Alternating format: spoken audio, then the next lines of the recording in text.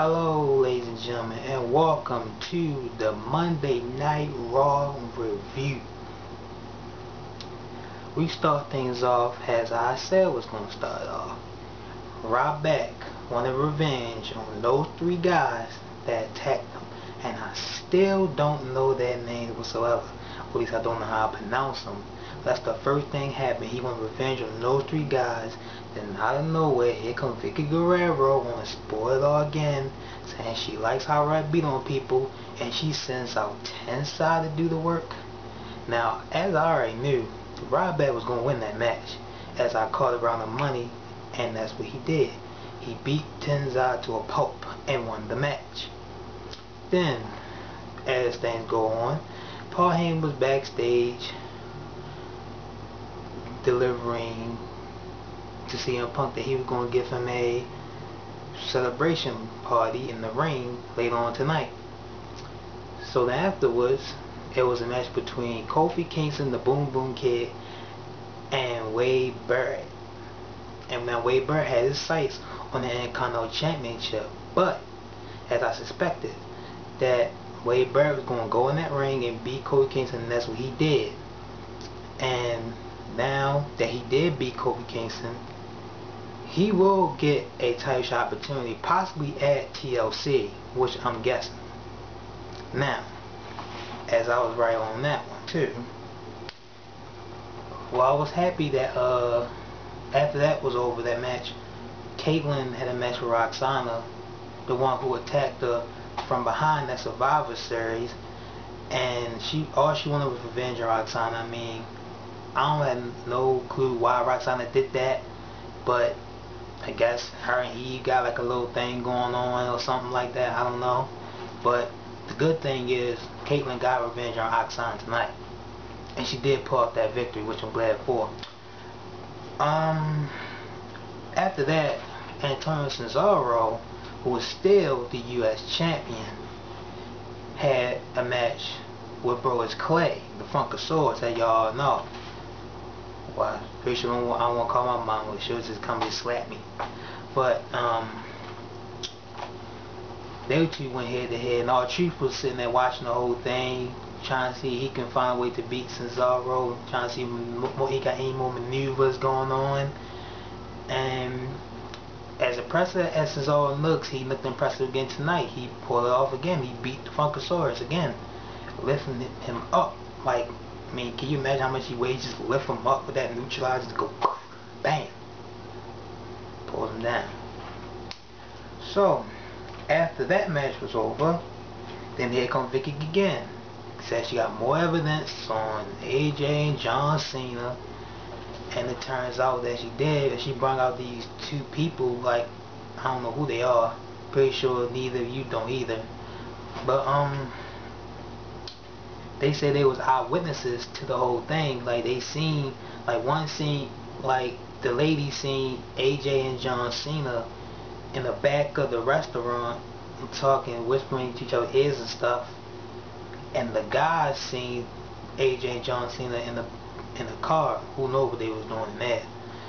But I'm pretty sure we all got our minds on something. You know what I mean? But um. Then after that was over, a um Vickie, not yet. Vickie was about to present more evidence, and then here comes John Cena to the rescue again. And then he tried to, and she, and he confronted Vicky like, why is she still trying to screw them? And then John Cena did the biggest thing that neither of us expect. He just took his head off, grabbed AJ, and gave it the kiss of a lifetime. But I'm pretty sure everyone is still talking about. And the surprising thing about it, when he was finished, she kissed him back. Now, that could mean something. Like, maybe that's true that they all got something behind the scenes. Or maybe that was just to get Vickie off track a little bit. Who knows? But then, while they was kissing, Dolph Ziggler comes to ring start beat up on John Cena. And then, John Cena try to lift him through the AA. And then Dolph Ziggler runs. Then Dolph Ziggler runs the ring. And he hurt his uh, ankle, they say he has a, a torn malleolus something. And who knows how long he's going to be out for. He is going to be out anyway, but I'm pretty sure he's going to be okay. But, um,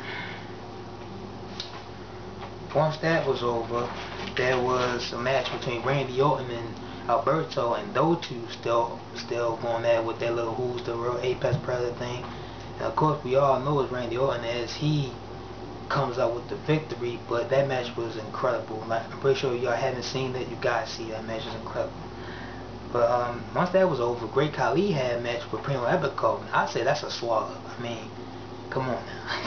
it's Khali, the big Great Khali.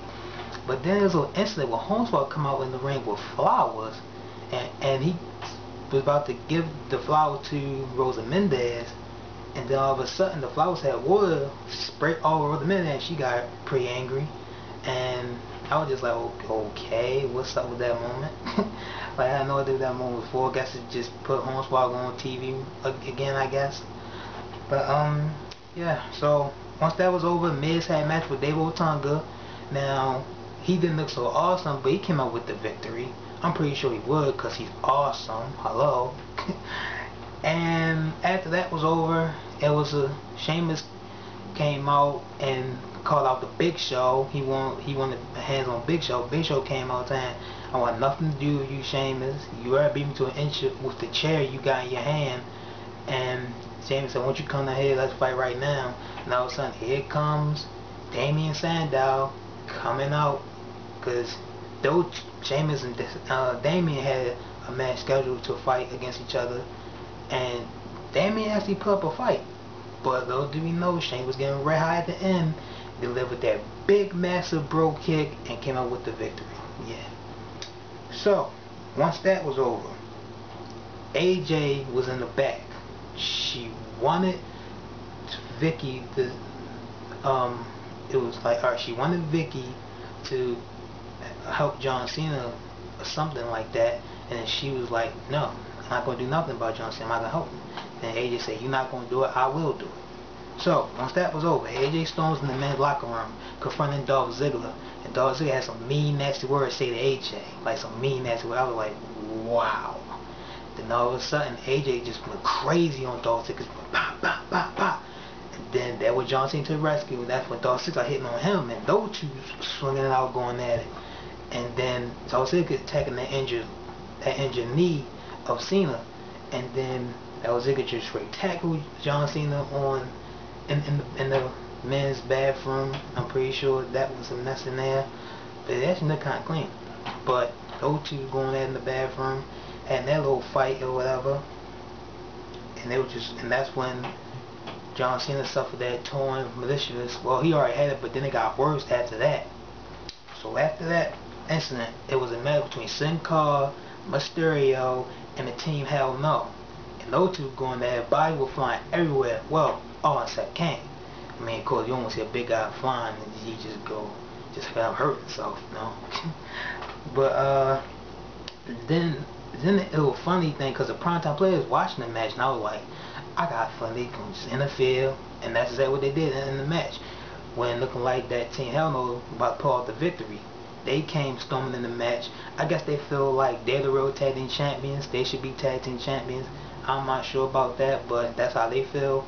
And Team Hell No and Team Sin Cara and Mysterio worked together and beat those guys into a blade poke. And that was the after that. So after that, then there was CM Punk and Paul Heyman backstage talking about we got your celebration outside the ring waiting. CM Punk was smiling happy. So that's when Paul Heyman was out in the ring. He was telling everybody to celebrate CM Punk for his 365 days champion. And then he, he introduced CM Punk out in the ring. CM Punk came out into the ring and was celebrating he's the champion. He's still the champion for 365 days. And he feel like he can beat almost anybody like Stone Cold or Rob Bret, Hitman, Shawn Michaels, all of them. You name them, anybody. So once he start bragging about all that, then there goes Ryback coming to crash the party. He want to get his own Punk. And then those three guys came again and attacked Ryback. The same three guys that we wondering what is going on with those guys. I mean, where everyone's saying those three guys is a scheming had some sort of scheme with Paul Heyman and CM Punk. And I'm pretty sure that because if you see how it ended, the three guys did not go after CM Punk or Heyman.